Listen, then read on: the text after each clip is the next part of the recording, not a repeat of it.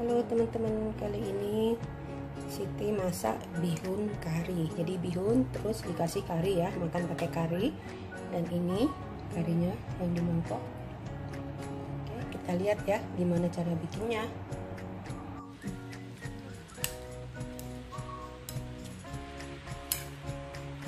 Cekernya. Ini tahunya. Ini wortelnya chicken wingnya halo teman-teman. Assalamualaikum. Kali ini Siti mau masak kari. Jadi ini ayamnya tapi saya mau pakai sayap ayam sama kaki ayam ya ceker atau chicken feet.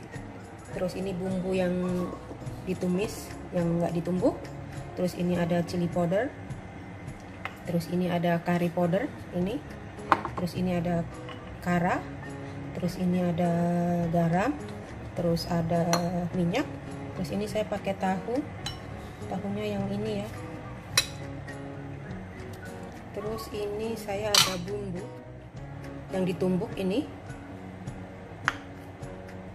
Ini yang ditumbuk yang ada ya. Nanti saya kasih tulisan di resepnya terus ini yang untuk campurannya jadi pakai kentang pakai wortel itu serasa selera aja ya. Kalau saya wortel suka aja saya mau pakai. Terus ini pakai lengkuas. Uh, ini serai sama ini daun kari atau uh, apa ya? Daun kari atau korople jadi saya tapi saya mau pakai ini. Jadi nanti saya habis masak kari saya mau masak ini. Jadi nanti kayak bihun kari gitu ya jadi bisa ini kan. Nah ini bihunnya udah saya rebus. Teman-teman tinggal nyisihkan ya. Oke ini teman-teman kalau sudah ya kita tumis.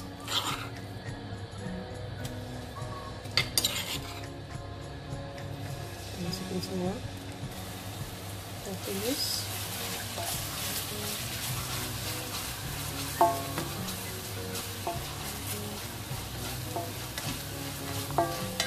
ini berbusa minyaknya karena pakai minyak kelapa.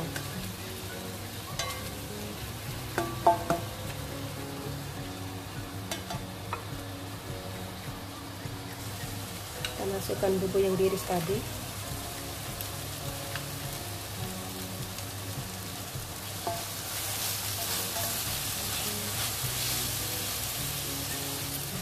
Kita masuk es kita masukkan bumbu kari powdernya sama cabai.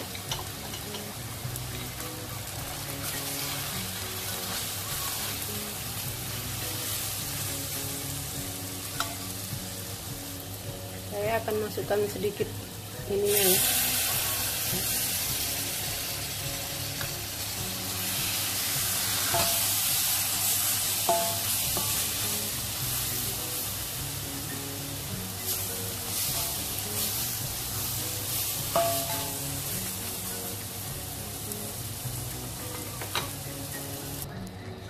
nah ini sudah mendidih lagi ya teman-teman. Tadi udah saya kasih. Kita masukkan. Kita masukkan ayamnya.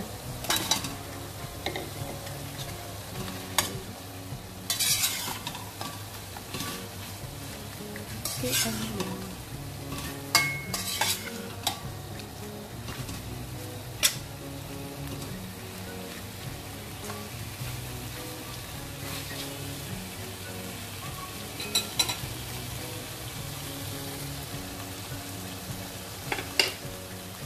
masukkan juga kentangnya sama.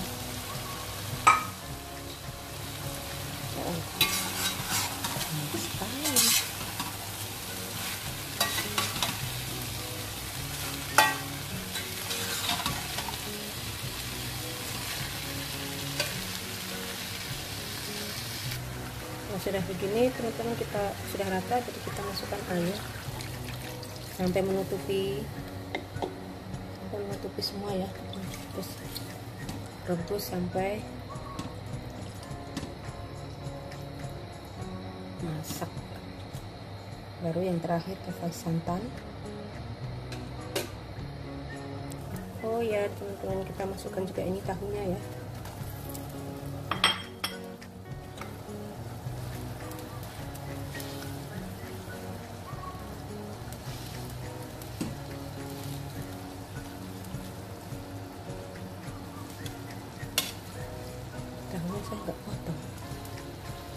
dipotong boleh tahunya sebetulnya ini? Cuma saya nggak potong nanti saya potong.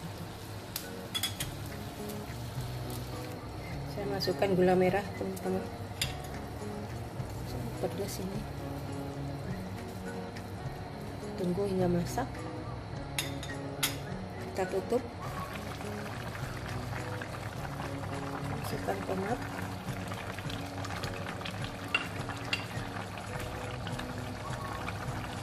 ini kalau tomat untuk selera saja ya teman-teman. Mau pakai apa? Enggak juga nggak apa-apa.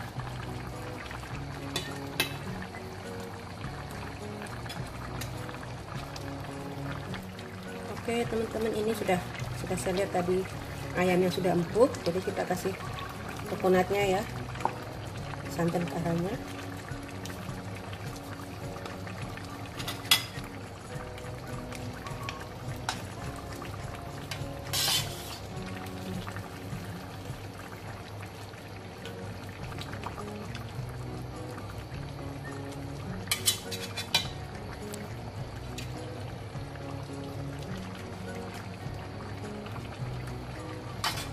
sudah saya kasih santan karanya ya teman-teman. Tinggal kasih uh, sampai mendidih lagi sampai matang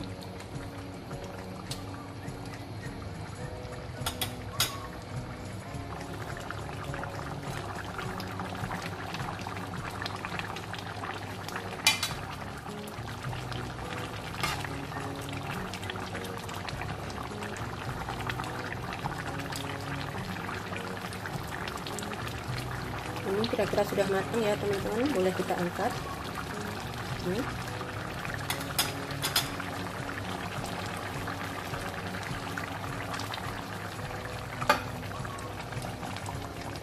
biar dia tanak dulu.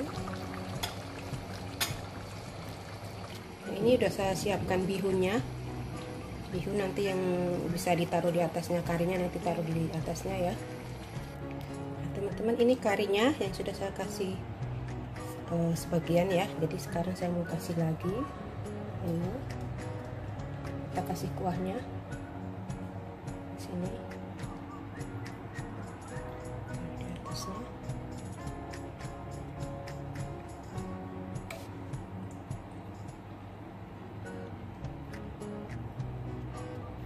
jadi bihun kari ya teman-teman.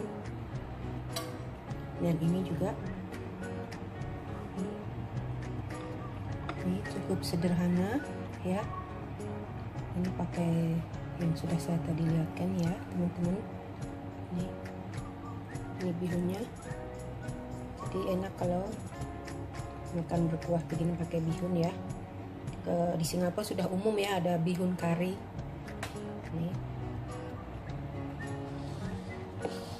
Oke teman-teman selamat mencoba.